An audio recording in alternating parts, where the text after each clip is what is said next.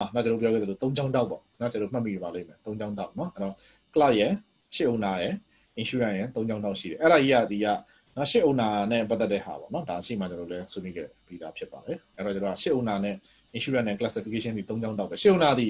insurance မရှိရင်မနေနိုင်ဘူးသူသမောတွေနောက်ခဏလို့ပျက်စီးထိခိုက်ပျက်စီးဆုံးရှုံးသွားမယ်ဆိုရင်သူ့ပြဿနာရှိတယ်ဒါကြောင့်မလို့ရှစ်အုံနာကကျွန်တော်တို့ဘာဖြစ်လဲဆိုတော့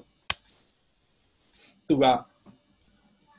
insurance မရှိဘဲနဲ့မနေနိုင် insurance ကလည်းသူ့ကြီးပဲမနေနိုင်ဘူးဒါကြောင့်ရှေ့ကနာသူ့ပတ်ချလိုက်မယ်နော်ထုံးစံတိုင်းလိန်လိုက်မယ်နော်သူကနာ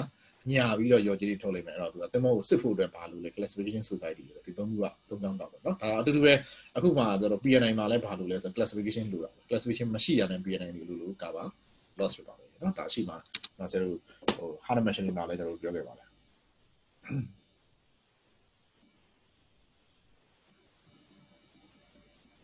ဒါ hard machine မှာတော့လည်းကျွန်တော်အဲ့ဒီကိစ္စကိုပြောတော့ပြောခဲ့တယ်ဒါပေမဲ့ဟိုမိခွန်းအနေနဲ့နော်ကျွန်တော်ဆွေးနွေးတဲ့အပိုင်းလေးအဲ့တုန်းကကျွန်တော်ထည့်ပြီးတော့မပြောပြဘူးထင်တယ်နော်အခုဒီမှာကျွန်တော်တိုက်ဆိုင်လာလို့နည်းနည်းလေးအဲ့ဒါလေးကိုကျွန်တော်အချက်ချက်ပြီးဆွေးနွေးနေပါတယ်နော်တင်မော classification ရှိမှနော်သူက insurance cover ဖြစ်တယ် hard machine ရွေးဖြစ်ဖြစ် BNI မှာဖြစ်ဖြစ်နော် classification ရှိရမယ်လို့ပြောတယ်အရင်ခေတ်ကတော့ classification ရှိုံနဲ့ရတယ်အခုခေတ်မှာ classification ရှိုံနဲ့မရဘူးတယ်ဘာဘာလို့လာလဲဆိုတော့ဟိုဒီဘက်ချမ်းကနော် management နဲ့ပတ်သက်တဲ့ certificate လို့လာတယ် management နဲ့ပတ်သက်တဲ့ဟာကနော်တို့ပါလဲဆိုတော့ခုနပြောတယ်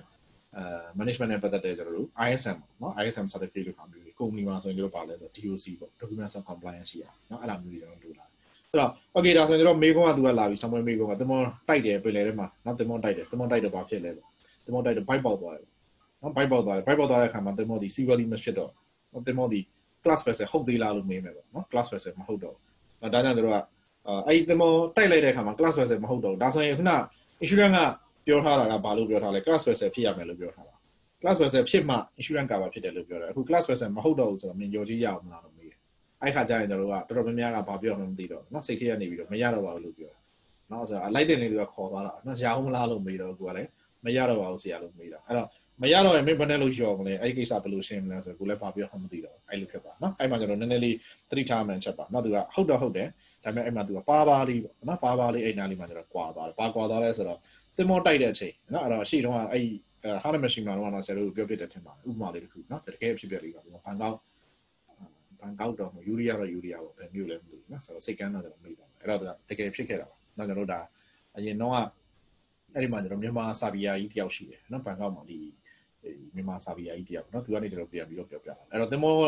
သူကကန္နာမှာကတ်ထားတယ်နော် discharging လုပ်နေ discharging ပြီးရတယ်သူကကန္နာကနေခွာမယ် engage မှာသွားမယ်ကြောက်ချတယ်ကြောက်ချပြီးသင်္ဘောကိုတစ်စီးလုံးကိုပတ်ကားပြင်မယ်နော်သူကပြင်ပြီးတော့မှသူကစာပေးစစ်တယ်အဲ့ဒီရွေချက်ရှိတယ်အဲ့တော့ကန္နာကတ်ထားတယ်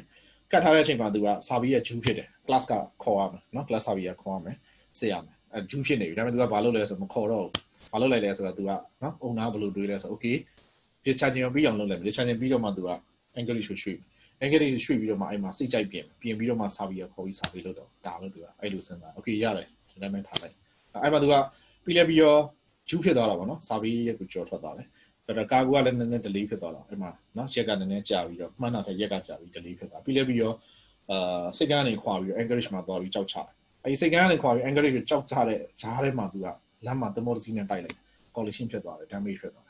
damage ဖြစ်တဲ့ဖြစ်သွားသူက insurance ကိုလှမ်းတောင်းတယ် insurance ကလာကြည့်တယ်လာကြည့်တဲ့အချိန်မှာဘာဖြစ်နေလဲဆိုတော့ survey ဂျူးဖြစ်တယ် survey ကိုမစစ်ထားဘူးအဲ့တော့သူက survey ကိုမစစ်ထားတဲ့အတွက်ဒီကောင်ဒီ survey ကိုဂျူးဖြစ်နေတဲ့အတွက်သမောဒီပါဖြစ်သွားတယ် class vessel မဟုတ်တော့ဘူးညင်းတယ် class vessel မဟုတ်တော့ဘူး class ထဲကနေနော်ဆိုတော့ class valid မဖြစ်ဘူးပေါ့ပြောမှဆိုရင်နော် class အသက်မဆက်တော့ valid မဖြစ် valid မဖြစ်တဲ့အတွက် insurance ကမရောဘူးဆိုပြီးပြောပါတယ်အဲ့တော့ owner ဒီဘာမှလုပ်လို့မရနောက်ဆုံးမှာ owner ဘက်ကနေရှုံးသွားတယ်အဲ့ဒီကိစ္စနော်အဲ့တော့တကယ်လို့များပေါ့အဲ့နေရာမှာသူကကန်းတန်းမှာ နော်ခုနကြကုံချနေတဲ့အချိန်မှာသူကဆာဘီယာခေါ်ပြီးတော့စစစ်ထားလိုက်ဆာဘီယာခေါ်ပြီးစစ်ထားလိုက်မယ်ဆာဘီယာဒိုင်ဒိုင်ပြင်ပေးပါလို့ပြောတယ်နော်ဆိုတော့တက်တမ်းမပေးသေးဘူးပေါ့ဘာသူကပြင်ရမှာအင်္ဂလိပ်ရွှေရွှေပြီးတော့ပြင်ရမှာအဲ့တော့လာခေါ်ပြီးစစ်လိုက်တဲ့အချိန်မှာလာကြည့်ပြီးဒိုင်ဒိုင်ပြင်ပေးပါလို့သူကပြောတယ်အဲ့ဒီမှာဆရာတို့ကအင်္ဂလိပ်ရွှေရွှေသွားလို့အင်္ဂလိပ်မှာကြောက်ချပြီးပြင်မယ်အဲ့လိုရွှေသွားတော့မှသာတိုက်လိုက်လို့ collision ဖြစ်တယ်ဆိုရင်အဲ့ဒါသူကအကျုံးဝင်ဒီတင်မောကိုရောရတယ်ဘာလို့လဲဆိုတော့သူကအသက်ဆက်ထားတယ်စာပေးလုပ်ပြီးတော့အသက်ဆက်ထားတယ်နော်အဲ့လိုမဟုတ်ဘဲနဲ့စာပေးမလုပ်ဘဲနဲ့ဂျူးဖြစ်သွားပြီနော်ဆိုတော့တက်တမ်းမရှိတော့ဘူး အဲ့ဒီအချိန်မှာကျွန်တော်ရွှေ့သွားပြီးတော့မှလမ်းမတစ်စုံတစ်ခုဖြစ်လာတဲ့အချိန်ကျတော့ insurance ကတာဝန်မယူတော့ဒါလေးတွေကကျွန်တော်အင်မတန်သတိထားမှချက်ပါနော်ဒါက class နဲ့ပတ်သက်ပြီးတော့ကျွန်တော်တို့ရှိမှာ classification နဲ့ ISM ဆိုပြီးတော့ Hana Mention တွေမှာရှိတာနော်အဲ့ဒီအကြောင်းကိုကျွန်တော်ပြောရမှာပါပါတယ်အဲ့တော့ဒီမှာကျွန်တော်ပြောချင်တာအဲ့ဒါနဲ့ဆက်ဆက်တဲ့ main ကောမှာခုန main ကောကျွန်တော်ပြောချင်တာလမ်းမသင်္ဘောနဲ့စီးတိုက်တယ်တိုက်တဲ့အချိန်မှာ bike ပေါက်တယ် bike ပေါက်လာတဲ့အချိန်မှာရေတွေဝင်လာပြီစီးပေါ်သည်ဖြစ်သေးလားလို့မေးတယ်သင်္ဘောသည်စီးပေါ်သည်မဖြစ်တော့အဲ့ဒါစီးပေါ်သည်မဖြစ်ရင် class vessel ဟုတ်သေးလားလို့ဆက်မေးတယ်အဲ့ဒါ class vessel မဟုတ်တော့ဘူးနော် class ကနေပြတ်သွား class ပြတ်သွားပြီ class ပြတ်သွားရင် main issue ကရောမလားလို့မေးတယ်အဲ့ကြကျွန်တော်လဲထွက်သွားမရောတော့ပါဘူးဆိုပြီးဖြစ်သွားမရောရင်မဘယ်သူရောမလဲဆိုအဲ့မှာကိုယ်ရသိတာအဲ့ဒါဆိုတော့ဘာပြောချင်တာဆိုတော့ဟုတ်တယ်တိုက်လိုက်တဲ့အချိန်မှာ byte ပေါက်ပြီးတော့ရေဝင်လာတာမှန်တယ်ရေဝင်လာတဲ့အချိန်မှာ စီဘောဒီမဖြစ်တော့တဲ့ class vessel မဟုတ်တော့ဘူးဒါလည်းမှန်တယ်ဒါပေမဲ့ at the time of collision အရေးကြီးတဲ့ချက်ကအဲ့ဒီဟာလေးက key point ပဲเนาะဆရာတို့အဲ့ဒါလေးသေချာမှတ်ထားပါ at the time of collision မှာတော့ဒီကောင်ဒီပါလဲဆိုတော့ class vessel ဖြစ်တယ် stay in class class ဖြစ်တော့တိုက်လိုက်တဲ့အချိန်မှာဒီကောင်ဒီ seaworthy ဖြစ်တယ် seaworthy ဖြစ်တဲ့ class vessel ဖြစ်တယ် after collision မှာတော့ seaworthy မဖြစ်တော့ seaworthy မဖြစ်တဲ့အတွက် class ကအထုတ်ခိုင်းအဲ့တော့ at the time of collision မှာဒီကောင်ဒီ class vessel ဖြစ်တယ်ဒါကြောင့်မလို့သူ့ဒီရှုံးရမယ်အကျုံးဝင် after collision မှာတော့ဒီကောင်ဒီ class vessel မဟုတ်တော့တဲ့အတွက်ဒါတော့ပြဿနာမရှိအဲ့ဒါကြောင့်ကျွန်တော်ကဘာနဲ့စကားဆက်ဆက်ပြီးဆရာတို့တွေးလို့ရတယ် after collision ဖြစ်တဲ့သင်္ဘောတစ်စီးကိုဆွဲသွားပြီးတော့ဆရာတို့ကနောက်ထပ်စိတ်ကန်းတစ်ခုမှာနော် port review မှာပြင်မယ်ပေါ့ပြင်မယ်ဆိုရင်ဒီ collision ဖြစ်တဲ့နေရာနေ bike ပေါက်တဲ့နေရာနေအဲ့သင်္ဘောကိုဆွဲသွားမယ်ဆွဲသွားတဲ့လမ်းတစ်လျှောက်တဲ့ကိုတခါ insurance cover ပြန်ယူပါ အဲ့ဒီ insurance cover ပြန်ယူဖို့အတွက်ကြတော့ခုနမရတော့နောက်ပြီးတော့နှစ်ပိုင်းပေါ့ပထမတစ်ပိုင်းကမတိုက်ခင်အနေထားမတိုက်ခင်အနေထားရတော့သူဒီနော် stay in class ဖြစ်တယ် class ဖြစ်တဲ့အတွက်အဲ့ဒီတက်ကို insurance cover ဖြစ်တယ်ဒါပေမဲ့တိုက်လိုက်ပြီးတဲ့အချိန်မှာ bike ပေါက်ပြီးတော့ယူဝင်သွားတဲ့ဟာကိုဆရာတို့က insurance ကိုဘာမှမပြောဘဲနဲ့ဆွဲသွားတယ်လမ်းရောက်မှမြုပ်သွားတယ်ဆိုရင်အဲ့ဒီဆွဲသွားတဲ့လမ်းရောက်မှမြုပ်သွားတဲ့ကိစ္စက insurance cover မဖြစ်ဘူးဘာကြောင့်လဲဆိုတော့ခုနနော် stimol ဒီ class ကနေပြီးတော့အထုတ်ခံ bike ပေါက်လို့အတွက်နော် NC worthy ဖြစ်သွားတဲ့အချိန်မှာသူက insurance ကိုပြန်အကြောင်းကြားရမယ် additional cover ပြန်ယူရမယ် health cover ပေါ့နော်ရှိမှလည်းပြောခဲ့ကြစားအဲ့ဒါတွေပြန်ယူရအောင်အဲ့ဒါတွေမယူဘဲနဲ့ဒီတိုင်းဆွဲသွားပြီဆိုရင်တော့အဲ့ဒါသူက cover ဖြစ်တော့ပြောချင်တာတတ်တတ်စီတတ်တတ်စီတစ်ပိုင်းစီတစ်ပိုင်းစီတစ်ပိုင်းစီတစ်ပိုင်းစီသူကသွားနော်နောက် general average ကိုပြောတဲ့အချိန်မှာပုံစိတ်ဝင်စားဖို့ကောင်းတယ်မီးလောင်တယ်မီးလောင်တဲ့အတွက်ကျွန်တော်ရှင်နဲ့ထိုးတယ်နော်မီးလောင်တဲ့အတွက်လည်းပျက်စီးတယ်ရေနဲ့ထိုးလိုက်တဲ့လည်းကာကိုတွေပျက်စီးတယ်အဲ့တော့မီးလောင်လို့အတွက်ပျက်စီးတဲ့ကာကိုတွေကသူကဘာနဲ့သွားလဲဆိုတော့ particular average insurance ကနေပြီးတော့ရောစားလို့ general average တွေထည့်လို့မရအဲ့တော့ မီးလောင်တာကိုကျွန်တော်ကညှိနေတဲ့အတွက်ရေနဲ့ထိုးလိုက်တဲ့အခါမှာဘေးကကာကိုတွေပါပျက်စီးသွားတယ်ဘေးကကာကိုတွေပျက်စီးသွားတာအဲ့ဒါကလည်း general average နောက်သူကဒီလိုမျိုးလေးတွေပါလိမ့်မယ်အဲ့တော့ဒါတွေကတော့နောက်ပိုင်းမှာဟိုစိတ်ဝင်စားဖို့ကောင်းတာလေးတွေပေါ့နော်စမွေးမှာမေးတဲ့မေးခွန်းတွေလည်းပါတယ်အဲ့တော့ဒါကိုကျွန်တော်တို့အခြေခံကိုတွားနေတာဖြစ်တဲ့အတွက်အခြေခံကိုသေချာပြောပြီးတော့မှခုနမေးခွန်းတွေနဲ့ပတ်သက်တဲ့ဟာတွေဆွေးနွေးတယ်မှာပါပါလိမ့်မယ်နော် okay ဒီမှာတော့ကျွန်တော်ကဘာကိုဆွေးနွေးချင်တာလဲဆိုတော့ခုန classification society ကနေမရှိတော့ရှစ်တင် good condition လို့ပြောတယ်နော် good condition ဆိုတာဘာကိုပြောတာလဲ in class class versus ဖြစ်ရ class versus ဖြစ်ုံနဲ့မရဘူးဘာဖြစ်ရမလဲ ISM certificate ရှိရမယ်အဲ့တော့ဆရာတို့ပြောခဲ့တယ်နော်ဆရာတို့မှတ်မိလိမ့်မယ်ကားအသစ်တစ်စီးကို showroom ကနေထုတ်ပြီးတော့မောင်းသွားတယ်မောင်းသွားတဲ့အခါမှာမောင်းတဲ့လူကအသုံးမကျတယ် showroom ကနေထုတ်ပြီးလမ်းကိုကွေ့ပြီးတော့မောင်းလိုက်တာနဲ့အဲ့မှာကားနော်တစ်ပင်ဝင်တိုက်ပြီးတော့ပျက်စီးရင်လည်းပျက်စီးမယ်ပက်လက်လန်ပြီးတော့တုံလုံးလဲပြီးပက်လက်လန်ပြီးမှောက်ရင်လည်းမှောက်သွားလိမ့်မယ်ဘာလို့လဲဆိုတော့မောင်းတဲ့လူတွေလည်းဆိုင်ကားအသစ်ပဲအခုမှထွက်တာပဲဒါမှမဟုတ်ကျွန်တော်ခုနမောင်းတဲ့လူအသုံးမကျချက်ချင်းပျက်စီးသွားနော်ဒါကြောင့် management နဲ့ဆိုင်တယ်နော်ဆိုတော့ operation နဲ့ဆိုင်တယ်အဲ့ဒါတွေက ISM certificate နဲ့ထိတယ်အရင်ခေတ်က class vessel ဖြစ်ရုံနဲ့လည်းရတယ်အခုခေတ်မှာမရတော့ ISM certificate တွေပါလိုလာတယ်เนาะဒါ insurance နှစ်ခုစလုံးမှပါတယ်ခုန hard machinery တွေမှလည်းပါခဲ့တယ်အခု PNI နဲ့မှလည်းပါခဲ့တယ် PNI ကိုရောက်မှပဲကျွန်တော်ဒါကိုအကျယ်ချက်ပြီးတော့ဆရာတို့နဲ့ဆွေးနွေးတာဖြစ်ပါเนาะ okay အဲ့တော့ဒီပါတယ်ပထမတစ်ဆင့် PNI ပတ်သက်တဲ့ပထမတစ်ဖြတ်ကပြီးပါတယ်အဲ့တော့ PNI နဲ့ပတ်သက်တဲ့နောက်တစ်ဖြတ်ကပါလဲဆိုတော့ international groups of PNI IG PNI club เนาะအဲ့ဒါ PNI club တွေကပြန်ပြီးတော့စုဖွဲ့လိုက်တဲ့ IG PNI ဆိုပြီးတော့စုဖွဲ့ထားတာ အဲ့တော့ IGPNI ဆိုတာပါလဲ International Groups of PNI Club ပေါ့နော် PNI Club တွေပြန်ပြီးတော့စုဖွဲ့ထားတဲ့အစုဖွဲ့ပေါ့အဲ့တော့အဲ့ဒီမှာ73ခုရှိတယ် club နာမည်ကြီးเนาะ club 73ခုရှိပါတယ်အဲ့မှာကျွန်တော်မှားတဲ့အချက်ကเนาะဆာမွေးထဲမှာမေးပြီးဆိုရင်တော်တော်များများက PNI Club ဘယ်နှခုရှိလဲ73ခုရှိတယ်လို့ပြောတယ်အဲ့ဒါဆိုရင်သိပ်မမှန်ဘူးဘာလို့ PNI Club က73ခုမကောက် PNI ကအများကြီးရှိတယ်ဒါပေမဲ့ကျွန်တော်ကတကယ် major PNI Club เนาะဘာနဲ့သွားတူလဲဆို classification society နဲ့သွားတူတယ် IACS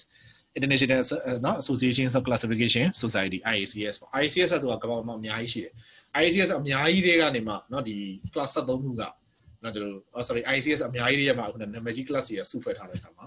နော် class တွေအများကြီးတွေမှာနာမည်ကြီး class တွေစုဖွဲ့လိုက်တယ် class အကြီးကြီးတွေစုဖွဲ့လိုက်တဲ့အခါမှာ IACS ဆိုဖြစ်လာဒီတဘောပဲဒီမှာလည်း PNN class တွေအများကြီးရှိတယ်အဲ့ဒီကမှဒီနာမည်ကြီး PNN class တွေစုဖွဲ့ထားတဲ့ကောင်က IGPN နော် International Group of PNN club အဲ့ဒီထဲမှာမှကျွန်တော်ခုနပြောတဲ့ class 73 class 73ခုမှာပြန်ခွဲရင် Swedish Scandinavian class က3ခု America မှာတစ်ခု Japan မှာတစ်ခု UK မှာတစ်ခု London မှာ9ခုနောက်ထုံးစံတိုင်းပဲဆိုတော့ဘာသာတွေ့လဲနော်ဒီ UK တို့ London တို့နော်ဒီ England ကပြောမှဆိုရင်ရှိမှာ နော်ဆရာတို့လည်းပြောခဲ့သလိုပဲ England ဒီတကယ်ဟို shipping industry နဲ့ပတ်သက်ရင်နော်နံပါတ်1 market အနေနဲ့သူကရက်တည်တယ်ကမ္ဘာပေါ်မှာလည်းသူက shipping industry နဲ့ပတ်သက်ရင်သူကဖုံးလွှမ်းထားစေနော်ဆိုတော့ရှေ့မှာတော့ဆရာတို့ပြောခဲ့ပြီးသားပါတကယ်တော့ shipping industry မှာမဟုတ်ဘူး England ကအရင်တော့ကမ္ဘာမှာ America မပေါ်ရင် England ကမ္ဘာမှာနံပါတ်1ပဲနောက်မှ America ပေါ်လာတော့မှ America ကတက်သွားတာနော်အဲ့တော့ဒီ group ထဲမှာပါတယ်ဒီ group ဆိုဒီ IGPN နဲ့ပြောနော် IGPN မှာပါတဲ့သင်္ဘောတွေဒီတဲ့ ocean going gross tonnage 400အထက်သင်္ဘောတွေ90ရာခိုင်နှုန်း ပင်လယ်ပြင်သွားသင်္ဘောတွေ90ရာခိုင်နှုန်းဆိုတာဒီ IGPN နဲ့မှာရှိတယ်အဲ့ဒီမှာမှာတန်ကာတွေတန်ကာတွေရဲ့65ရာခိုင်နှုန်းကျော်ဒီဘက်မှာရှိတယ်ဆိုတော့ IGPN မှာရှိတယ်ဒါ IGPN အကြောင်းကိုကျွန်တော်တို့ကပြောတာပါနည်းနည်းပဲပြောတာပါတကယ်တော့နော် IGPN ကသူက website လည်းရှိတယ် IGPN ကသူ cloud တွေနဲ့စုစည်းထားတယ်နော် Okay types of the issue ဒါရှေ့မှာပြောခဲ့ပြီးသားလေးပါနောက်ကျွန်တော်ဘာကိုပြန်ပြောလဲဆိုတော့ဒါလေးကိုပြန်ပြီးတော့ဆရာတို့စာအနေနဲ့ပြန်စုပေးထားတယ်နော်ဒီမှာကျွန်တော်ခုနပုံနေနဲ့ဆရာတို့နဲ့ကျွန်တော်ခဏခဏဆွေးနွေးခဲ့တဲ့ဟာလေးရှိပါတယ် နော် issue တွေဒီမှာခွဲပြီးတော့ကျွန်တော်ဆွေးနွေးခဲ့တယ်နော် issue တွေ name issue တွေ marine issue တွေနော် name အောက်မှာဘာတွေရှိလဲ marine issue အောက်မှာဘာတွေရှိလဲနော်ဆရာခဏခဏကျွန်တော်တို့ဒါနဲ့ပတ်သက်ပြီးတော့ဆွေးနွေးခဲ့တယ်နော်အဲ့ဒါကိုသူကစာလို့ရေးပြီး marine issue တွေ fire issue တွေ light issue တွေ accident နော်ဒါနဲ့ပတ်သက်တဲ့ဟာတွေ issue တွေအများကြီးရှိတယ်အဲ့တော့ marine issue ကဘာလဲ harness ရှိတယ် BNI ရှိတယ် loss of hire ရှိတယ် warranty ရှိတယ် several supplementary issue supplementary insurance ဆိုတာအများကြီးဖြစ်နိုင်တယ်နော်။ဘာတွေလဲဆိုတော့ defense cover FTD ခုနကပဲပြောတယ် freight demolition dispatch နောက်ခုနရှိမှရေးသွားတယ်။အဲ့ဒါမျိုးတွေပတ်သက်ပြီးတော့ဒါနောက်ဆက်တွဲထပ်ပြီးတော့ယူလာတာ။အရင်ခေတ်ကအဲ့ဒါမျိုးတွေကနော် insurance cover မရဘူး။အခုတော့ PPT PPT နဲ့အဲ့ဒါတွေပါတိုးလာနော်။အဲ့ကာကိုနဲ့ပတ်သက်တာတွေ freight နဲ့ပတ်သက်တာတွေရှိမယ်။နောက်ဆိုတော့ insurance နဲ့ပတ်သက်တာမျိုးစုံ strikes ပေါ့ခုနဆန္ဒပြတယ်နော်။ဆိုတော့ဆန္ဒပြတဲ့သူတွေအကြောင်းမို့လို့ထိခိုက်နေတာပျက်စီးဆုံးရှုံးမှုတွေနဲ့ပတ်သက်တာ။ဒါတွေကနောက်တိုးတွေပေါ့ supplementary ပေါ့နော်။တခြား supplementary တွေလည်းအများကြီးဖြစ်နိုင်ပါတယ် အဲ့တော့ specialist policy ကဘာလဲရှိမှာ new building risk နောက်ရှိမှကျွန်တော်ပြောခဲ့တယ် thermology စဆောက်တယ်ရှိမှဒါဆွေးနွေးခဲ့ပါတယ်နော် building နဲ့ပတ်သက်ပြီးတော့နော်ကျွန်တော် thermo ကခုနပြောခဲ့တဲ့စကားအရကျွန်တော်ကနော်၃ချောင်းတောင်းနေကျွန်တော်ပြခဲ့တယ်ဘာပြောခဲ့လဲ class vessel ဖြစ်မှာ insurance က cover ပေးမယ်လို့ပြောတယ် class vessel မဟုတ်ရင် insurance cover မရဘူးအဲဆို thermology ကိုအခုမှဆောက်တယ်ဆောက်တဲ့အတွက် thermo ဒီ class vessel မဟုတ်သေးဘူးအဲ့တော့ဘလို့မှ insurance ထားလို့မရဘူးတကယ်တော့ကျတော့သူကစောက်နေစဉ်တန်းလမ်းမှာလဲတောက်ထဲမှာလဲဆရာတို့သိတဲ့အတိုင်းပဲ immediate အနေနဲ့များတာတောက်ထဲမှာဘေးရ thermo မီးလောင်ရင်တော့ဘာမှမဟုတ်ဘဲနဲ့ ကူးလာပြီးတော့ကိုယ်သမောကိုလာပြီးတော့မိကူပြီးတော့ကိုယ်သမောမှာပျက်စီးဆုံးရှုံးမှုတွေဖြစ်လာတယ်။ဒါကြောင့်ကျွန်တော်က new building risk လို့ဟာမျိုးတွေနော်။ yacht insurance ဇိမ်ခံရွက်လေတွေသမောတွေနော်ရွက်လေဆိုပြီးတော့ဆရာတို့ပေါ့အတွက် short အတွက်လို့မရဘူး။ဒါဆိုတော့သူကဒီတထေးတွေစီးတဲ့ Ibrahimovic တို့ပါတော့နော်တကယ်တထေးတွေစီးတဲ့ရွက်လေတွေကသူကသမောတွေထက်တော့ပို့ပြီးတော့တန်ဖိုးများရွက်လေနဲ့သမောနဲ့မှာသူကကွာတဲ့ချက်တွေ technique technique နော် technique တွေတော့ကွာတယ် technically ကွာဒါပေမဲ့ဘယ်လိုကွာတော့မျိုးလဲသမောတွေမှာကသူက near speed က ပုံမှန်တိုင်းကျွန်တော်တို့လှုပ်လို့လို့ရတယ်เนาะဒီရွက်လေးတွေမှာနေရာ space ကပုံမှန်မဟုတ်ဘူးအဲ့တော့သူကဘယ်လိုဟာမျိုးဖြစ်မလဲဥမာအခုစပွဲပေါ့เนาะကျွန်တော်အခုထိုက်နေတဲ့စပွဲရှိတယ်ဒီစပွဲကိုကျွန်တော်ကเนาะဒီတိုင်းမှာကျွန်တော်ကအလုပ်လုပ်ရဒီစပွဲထိခိုက်ထားလို့ရထမင်းစားမယ်ဆိုရင်ဒီစပွဲကထမင်းစပွဲလုပ်လို့ရเนาะအဲ့လိုကိုညဘက်အိမ်မယ်လဲဆိုတော့ဒီစပွဲကိုကောက်ပြီးတော့လှန်ပြီးတော့ခောက်ပြီးတော့ဖြန့်လိုက်ရင်အဲ့ဒါကောင်အပြည့်ရဖြစ်သွားနေကမှကျတော့အဲ့ဒီအရာကိုလိတ်ပြီးတော့ကျွန်တော်အလုပ်စပွဲလုပ်လိုက်လို့ရဆိုတော့ပြောချင်တာကဒီ compact ဖြစ်ရ နော်ဒီနေရာချင်းချင်းလေးမှာသူကအကုန်ပုံအောင်လို့လုပ်ရတယ်အဲ့ဒီရွက်လေးနဲ့ပတ်သက်တဲ့ဤပညာနော်ဒီသမောတွေနဲ့ပတ်သက်တဲ့ဤပညာတွေနဲ့မတူအဲ့တော့ပြောချင်တာတော့တန်ဖိုးအင်မတန်ကြီးတယ်ရွက်လေးတွေကနော်ဒါကြောင့်သူတို့နဲ့ပတ်သက်တဲ့ insurance တွေဆရာတို့ပြန်သွားရမယ် increase value ရှေ့မှာလာတော့ဆရာတို့ ਨੇ hard machinery မှာလည်းကျွန်တော်ဆွေးနွေးခဲ့ပြီးသားပါသမောတစ်စီးကဒေါ်လာ10တန်းတန်တဲ့သမောရှိတယ်10တန်းတန်တဲ့သမောကိုကျွန်တော်ကဆုံးရှုံးသွားတဲ့အခါမှာနောက်ထပ်10တန်းတန်တဲ့သမောစီကိုပြန်ဝယ်မယ်ကုန်ကြစည်ဒီ10တန်းမကရှိတယ်။ဘာကြောင့်လဲ။သမောတန်မိုးကြီးပဲ10တန်းရှိနေတာ။အဲ့သမောဝယ်ပြီးကျွန်တော် registration လုပ်အောင် မဝင်ဆက်ကြားမှာလိုက်ပြီးတော့ရှာရမယ်။နော်သမောကိုတွားကြည့်ရမယ်။နော်အခုန technical team တွေကိုလွှတ်ပြီးတော့အနည်းဆုံးတော့ captain တယောက် chief engineer တယောက်သမောပေါ်တင်ပြီးတော့သွားဆက်ရမယ်။ဒါမှမဟုတ်ရင် survey team ကို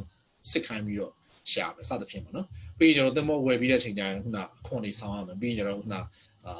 ကိုလိုချင်တဲ့ flag ကိုပြောင်းရမယ် class ကိုပြောင်းရမယ် so and so ပေါ့နော်။အများကြီးကျွန်တော်တို့ကလုပ်ရတာပဲရှိတယ်။အဲ့တော့ဒါကြောင့်ကျွန်တော်တို့ကပါလဲဆိုတော့ increase value ပေါ့အဲ့ဒါမျိုးတွေနဲ့ပတ်သက်ပြီးတော့ insurance ကပုံမှန်အဖြစ်မရဘူးเนาะဒီမှာခေါင်းစဉ်မှာကျွန်တော်ဘာလို့ဆွေးနွေးနေတာလဲဆိုတော့ specialist policy ပုံမှန်မဟုတ်ဘဲနဲ့เนาะလိုချင်တယ်ဆိုရင်အဲ့ဒါမျိုးတွေယူလို့ရတယ်ကာကွယ် insurance ကာကွယ် insurance ကိုကျွန်တော်ဆွေးနွေးမှာဖြစ်ပါတယ်ကာကွယ် insurance မှာ ABC ဆိုပြီးတော့သုံးခုခွဲမယ်เนาะကာကွယ် insurance ကြောင်းဆက်ပြီးတော့ဆွေးကြအောင်အဲ့တော့ institute ကာကွယ် clause လာပြပြီ institute ဆိုတဲ့စကားလုံးเนาะအဲ့တော့မှတ်မိအောင်ဆရာတို့နည်းနည်းလေးပြောပါမယ်ရှေ့ပိုင်းကလွတ်သွားတဲ့လူတွေအတွက်ကိုလည်းကျွန်တော်နည်းနည်းလေးပြန်ပြောတာပါပါတယ်အဲ့တော့ကျွန်တော်ကဒီအဖွဲ့အစည်းတွေအကြောင်းကိုပြောကြတဲ့အခါမှာเนาะအင်္ဂလန် မှာရှိတဲ့เนาะအဖွဲ့အစည်းတွေအကြောင်းပြောတဲ့အချိန်မှာပထမဆုံးက Institute London Underwriter Association ILU ဆိုတာရှိခဲ့တယ်။အဲ့ဒါကိုဆက်ခံပြီးတော့နောက်ပိုင်းမှာ International Underwriting Association ဘာကြောင့်လဲပေါ့အရင်ခေတ်ကအင်္ဂလန်ဒီကမ္ဘာမှာနံပါတ်1ဖြစ်တယ်ဒါကြောင့် Institute London Underwriter Association ဆိုပြီးတော့သူကเนาะအင်္ဂလန်ကနေ London ဆိုတဲ့နာမည်နဲ့ပဲဒီကမ္ဘာလုံးကရှိတဲ့လူတွေကသူ့စီလာပြီးတော့เนาะဆိုတော့အဖွဲ့ဝင်ရတယ်ပေါ့နောက်ပိုင်းကျတော့လန်ဒန်ကကြာလာပြီးတော့ဒီကမ္ဘာလုံးကဂျပန်တို့ဘာလို့เนาะတက်လာတဲ့ခါကြီးရှိတယ်တက်လာတဲ့အတွက်သူကဘာလုပ်လိုက်လဲဆိုတော့ International Underwriting International ဆိုတဲ့စကားလုံးကိုပြောင်းယူလိုက်တယ် အဲ့ဒီမှာ international service လုံးကတလုံးမှမပါဘူးအဲ့ဒါသူကတော့နိုင်ငံတကာအဖွဲ့အစည်းဖြစ်ကိုပြောင်းနေတဲ့အတွက် international underwriting association ဖြစ်နေပြောင်းလိုက်တယ်အဲ့ဒီမှာဘာထွက်လာလဲဆိုတော့ပထမ institute london underwriter association ILU ခစ်ကထွက်ခဲ့တဲ့ clause တွေ institute clause ပေါ့ဒီနောက်ပိုင်းကထွက်တဲ့ကောင်တွေက international clause ပေါ့နော် clause တွေကကျွန်တော်နှစ်ပိုင်းဖြစ်တယ်အဲ့တော့အရင်တော့ clause တွေကိုပဲကျွန်တော်ဆက်ပြီးတော့သုံးနေတာပါ institute clause တွေပဲဆက်ပြီးသုံးတာသုံးနေတဲ့အတွက်ဒီမှာကျွန်တော်တို့ကဒီမှာ institute ပါလာတဲ့အကြောင်းရင်းကိုဆရာတို့နည်းနည်းလေးပြန်ဆက်ပြီးတာ